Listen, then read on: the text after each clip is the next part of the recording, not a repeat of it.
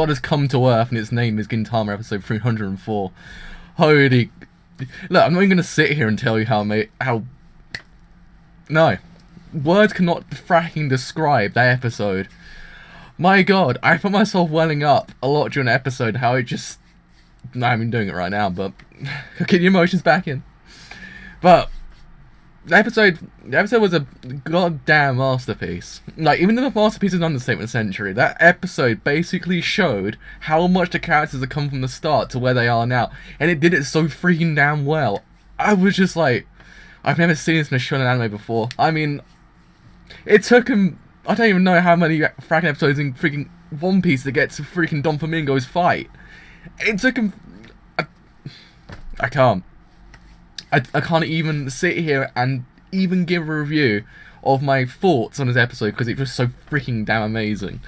Every single character, every single main character really, because I think everyone else is still fine outside, so we're not getting much content for them. So, yeah, the main characters, you've got Shinpachi, you've got Gintoki, you've got Kagura, you've got Kamui, you've got Takasugi.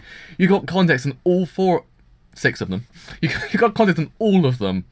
Freaking damn hell. I mean, I felt myself welling up with the first bit when the when the Shogun appeared and basically grabbed Sarutobi and Zenzo.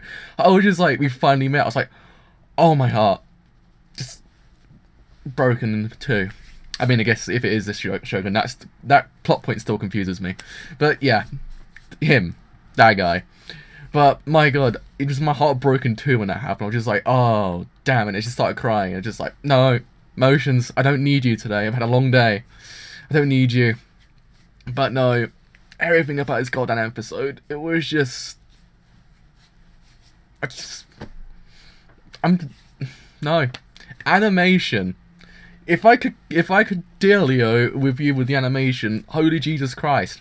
I mean, I've sat, I've sat through shonen animation before, and I've seen some beautiful things in my time. But holy Jesus Christ, I took the freaking cake. I mean, every single goddamn frame of that of that episode was freaking top notch every single frame was just like it was fluid. It was amazing. Not one single scene looked out of place. It looked all amazing. The soundtrack was phenomenal. It really helped the scene. And the ending and the opening. Opening is by far my second favorite of the series so far. First told me uh, opening two. That's my favorite.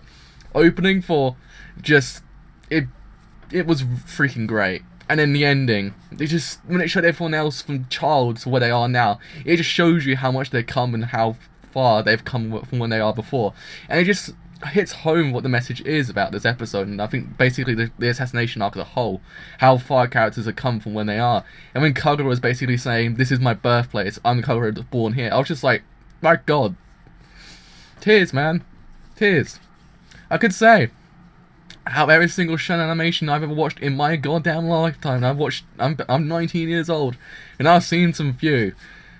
Gintama is still the best. There's just no better. The storyline, the overarching storyline, the characters, nothing is bad. There's just not one single flaw I can find on episode. It's goddamn serious. It's so freaking. Ah oh, man, Alan just. I think this episode, taking back from this episode, I'd say everyone's gone a little bit nuts. Like everyone's gone a little bit nuts, and I I just when I saw Gintoki just fall down, I was like, no, no, no. And the previous said, I'm I'm Gintoki. I was just like, yes, he's alive, he's alive, and my my heart will not be broken next week. But yeah, it took him 39 weeks. It took him. It wasn't even my birthday. It happened. But thank God, Gintama gave me the greatest New Year present of my life. It gave me the it gave me the one episode I was looking forward to, and it did it so freaking damn well. I can honestly say to you, if you're not watching this goddamn series, what on the F are you doing with yourself right now? If you're watching this episode, just go freaking down, watch it again. Just watch it a fourth time, just watch it for a seventh time. Not one time would ever get bored. The pacing was so freaking great. The animation was bloody brilliant. Like I haven't seen I haven't seen animation in a show anime like that since I don't even know the Grimmjow fight in Bleach, and even that was a bit weird. But yeah, I just now I'm just sitting here wondering why can't Shonen Animation do this all the time? Why isn't all Shonen Animation like this? We could have. It showed you the past. It showed you flashbacks, but it showed you in a way that it wasn't boring. It wasn't monotonous. Just you, you weren't sitting there waiting to get to the fight. You were getting context on who they were and how they've come, and when they were once friends and where they are now, and how their paths have come basically full circle. It's just showing you I mean, Naruto took, I don't even know how long to even show a fight, and it's just all past. And also the perspective. I like the perspective, how they did the perspective, and they did it for 16 by 9. I thought that was pretty damn well done, because it did show, you, it looked like a past. It didn't do it in the black and white kind of filter and say, oh yeah, this is the past, here you go. No, it showed in a 16 by 9 ratio, and it said, hey, this is the past. I like that, because it basically reminded me of past movies I've watched. They used to do flashbacks like that. And I think it's just damn well how they did it. There was not one single fault I can find with this episode. I'm sitting here just telling you, go down watch it again if you've watched it already. I'm pretty much I'm pretty much on the verge of falling asleep. I am very tired, but still that just woke me back up. I mean like my soul has been lifted. I have now sold my soul to the Gintama gods and I am not and I'm not concerned. But with all that said, I have been the driver. If you do want to leave a like, if you do leave a like. If you don't leave a sub, do leave a sub. It does help quite a bit. I hope you guys all had a great Christmas and New Year. This is my first review of an anime since like two weeks ago.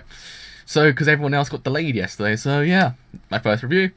So, with that said, I have been a driver, and I will see you guys later. Bye for now.